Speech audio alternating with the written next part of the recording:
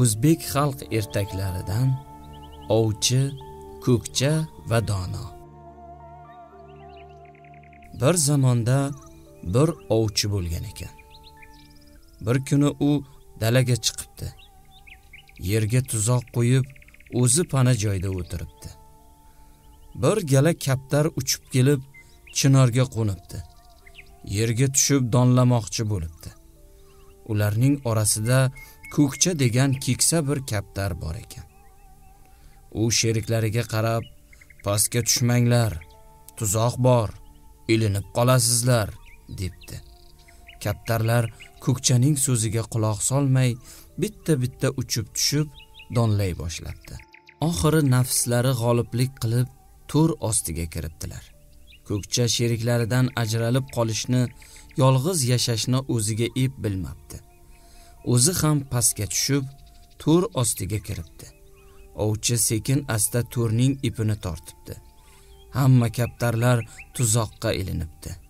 Ko'kcha sheriklariga qarab endi bir so'zim bor. Avval xo'p desangiz aytayin. Zora qutulsak debdi. Kaptarlar xo'p ayting. Avval sizning so'zingizga kirmay shu baloga yo'liqdik. Endi nima desangiz shuni qilamiz deyishibdi. Ko'kcha hammamiz birdaniga qanot qoqib to'r bilan yuqoriga ko'tarilamiz. Qutulishning yagona yo'li shu debdi. Ko'kcha qarasa ovchi quvib kelayotgan ekan. Kaptarlar baravariga qanot qoqib juda baland ko'tarilib ko'zdan g'oyib bo'libdilar.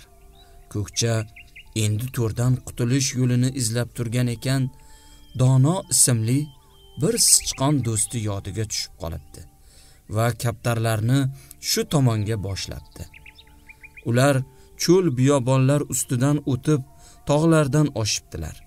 Borib borib dononing ini og'ziga kelib qo'nibdilar. Dono chiqib qarasaki do'sti ko'kcha emish. U do'stining iltimosi bilan avval ko'kchaning sheriklarini keyin esa o'zini to'rdan qutqazibdi. So'ngra hol ahvol so'rabdi. Ko'kcha butun voqeani aytib beribdi. Dono qadrdon do'stlarni kutish uchun salqin va xush havo yerga joy qilibdi. Keyin don dun noz ne'matlarni to'kib tashlabdi. Chinorda o'tirib hamma voqeani ko'rgan bir qarg'a kaptarlar biror yerga borib tushsa doniga sherik bo'larman. Degan umid bilan ular orqasidan uchib kelgan ekan. Qarg'a dononing kaptarlarga bergan yordamini ko'rib hayron bo'libdi. O'zicha do'st yordam berar ekan men sichqon bilan do'st bo'layin deb o'ylabdi. So'ngra borib dononi inidan chaqiribdi. Dono chiqib qarasa bir qarg'a turgan emish. Dono eshikda turgan qarg'aga qarab xo'sh keling birodar debdi. Qarg'a men jonivorlarning hech biriga qo'shilmay yolg'iz o'zim yashab kelaman. Yor birodarlarim jon kuyarim yo'q. Jonivorlar hamisha mendan qochishadi. Yolg'izlik jondan o'tdi. Qiynalib ketdim. O'ylab o'ylab siz bilan do'st bo'lishni ma'qul ko'rdim. Taklifimni qabul qilsangiz degan umid bilan keldim debdi. Sichqon qarg'aga javoban durust lekin siz meni qayerda ko'rsangiz biron ziyon yetkazasiz. Shuning uchun so'zingizga ishonish qiyin degan ekan. Qarg'a to'g'ri aytasiz do'stim.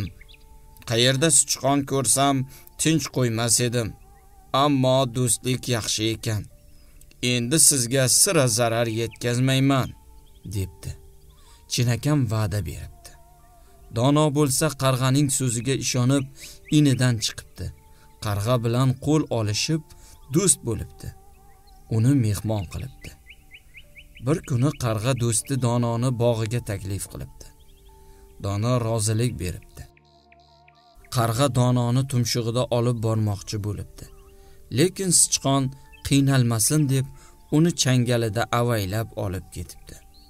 Bu bog' jahonda bor hamma mevali daraxtlar bilan bezangan ajoyib joy ekan. Xilma xil gullar xushbo'y hid sochib bo'stonni yashnatib turar. Shishadek tiniq suvlar shildirab oqib turar ekan. Turli tuman mevalar pishib tagiga tushib turar ekan. Qarg'a dononi yaxshilab ziyofat qilibdi. Sichqon ko'p xursand bo'lib bog'ni qarg'a bilan tomosha qilib yuribdi. Buni shu bog'da yurgan bir toshbaqa ko'rib qolibdi. Ularga havasi kelib salom berib ular oldiga boribdi. Hol ahvollarini sichqon bilan qarg'a o'rtasidagi inoqlik mehribonlik sababini so'rabdi qarg'a toshbaqaga kaptarlar voqeasini aytib beribdi. Toshbaqaning havasi ortibdi. Do'stlik birodarlikning bahosi yo'q. Ular bilan qadrdon do'st bo'lishga so'z beribdi. Qarg'a toshbaqani ham ko'p izzat hurmat bilan ziyofat qilibdi. Bog'ning bir tomonidagi baland tepat bag'rida bir kiyik yurar ekan. U qarg'a sichqon va toshbaqaning totuv bo'lib yurishganini ko'rib qarg'aning makoniga qarab yo'l olibdi. Ular yaqiniga kelib so'z qotibdi. Uni hammalari xursandchilik bilan kutib olibdilar. Qarg'a kiyikni dasturxonga taklif qilibdi va o'zaro gaplashib o'tirishganda kiyik qarg'a sichqon toshbaqaning bir birlari bilan ham jins bo'lmasalar ham nima uchun bunchalik inoqliklarining sirini bilishga kelganini aytibdi. Qarg'a bo'lib o'tgan voqealarni kiyikka birma bir hikoya qilib beribdi. So'ngra kiyik ham ular bilan do'stlik iplarini bog'lamoqchi bo'libdi. Do'stlar bu taklifni qabul qilibdilar. Hammalari boshqatdan o'rnidan turib ko'rishib hol ahvol so'rashib kiyikni yuqoriga o'tkazib unga ko'p iltifot qilibdilar. Shu paytda dono kaptarlarni xotirlabdi qarg'a kaptarlarga bir xat yozib berishni donodan so'rabdi. Dono xursand bo'lib xat yozib uni qarg'aning oyog'iga bog'labdi qarg'aga oq yo'l tilab hammalari uni kuzatishibdi. Qarg'a kaptarlarning makoniga kelib xatni beribdi. Kaptarlar xatni o'qib qarg'a bilan uchib bog'ga kelib qo'nibdilar. Do'stlar ko'rishib so'rashib shirin suhbat qurib o'tiribdilar. Bir zamon kiyik sayr tomoshaga chiqib ketibdi. Lekin ha deganda kelavermabdi. Do'stlar xavotir olibdilar. Shunda ko'kcha qarg'aga qarab kiyikdan shu choqqacha darak yo'q undan xabar olish kerak debdi. Qarg'a kiyikni ko'p axtarsa ham topolmabdi. Oxiri xafalikdan nima qilarini bilmay hayron bo'lib ketayotganda bir yerga ko'zi tushibdi. Qarasa bechora kiyik zolim ovchining qo'yib ketgan tuzog'iga oyog'idan ilinib yotgan emish. Tezda uchib borib do'stlarini bu voqeadan xabardor qilib ular juda xafa bo'lib bir birlari bilan maslahatlashibdilar. Ko'kcha bunday debdi. Qarg'avoy sen sichqonni changalingda olib bor. Sichqon kiyikning tuzog'ini qirqsin. Bu gap hammaga yoqib tushibdi. Qarg'a sichqonni changalida olib boribdi. Orqasidan ko'kcha ham uchibdi. Bularga toshbaqa ham ergashib qolibdi. Ko'kcha toshbaqaga harchand bormagin desa ham bo'lmabdi. Qarg'a sichqonni kiyik ilingan joyga olib qo'yibdi. Sichqon kiyikning oyog'idagi tuzoqni qirqa boshlabdi. Ko'kcha o'ylab turib do'stim dono kiyikning oyog'idagi tuzoqning hammasini qirqma uch tolasini qoldir. Tag'in ovchi buni bizdan ko'rib zarar yetkazib yurmasin. Ovchi kelgach kiyik bir zo'r berib uch tolasini uzib ketaveradi debdi. Dono ko'kchaning aytganini qilib uch tola ipini qoldiribdi. Avval qarg'a sichqonni ko'tarib uchibdi. Uning ketidan kaptar uchibdi. Ular bog'ga kelib qo'nishibdi. Qarg'a sichqonni changalidan sekin yerga qo'yibdi. Ovchi tuzoqqa elingan kiyikni ko'rib yugurib kelgan ekan kiyik bir intilish bilan uch tola ipni uzib qochibdi. Ovchi noumid bo'lib tuzoqni olib ketmoqchi bo'lgan ekan toshbaqani ko'rib qolibdi. Xurjunga solibdi. Kiyik allaqachon qarg'aning bog'iga yetib kelgan ekan. Do'stlar qarasaki toshbaqa yo'q emish. Ko'kcha men unga xarchand bormagin desam ko'nmagan edi. Bor qarg'a xabar olib kel debdi.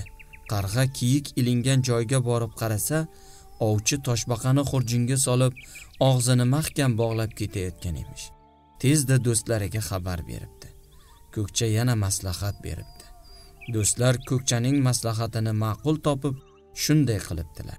Qarg'a sichqonni ko'tarib uchib ketibdi. Kiyik ovchining oldidan o'taveribdi. Ovchi kiyikni ko'rib xursand bo'libdi. Tuzoqdan qochish vaqtida oyog'i sinib cho'loq bo'lib qolgan ekan. Endi uni ushlab olaman deb kiyikning orqasidan yuguribdi. Kiyik ham oqsoqlanib qochaveribdi. Oxiri ovchi juda charchabdi. Yelkasidagi xurjunni tashlab kiyikning orqasidan rosa yuguribdi. Qarg'a sichqonni xurjun yoniga eltib qo'yibdi. Sichqon xurjunni teshib toshbaqani qutqazibdi. Toshbaqa bir katta toshning tagiga kirib berkinibdi. Qarg'a sichqonni boqqa olib borib qo'yibdi. So'ngra kiyikning oldiga borib ish bitdi endi qochaver debdi. Kiyik qochib ketibdi. Ovchi kiyikning gardiga ham yetolmay qolibdi. Kiyik bilan kaptar qarg'aning bog'iga borishibdi.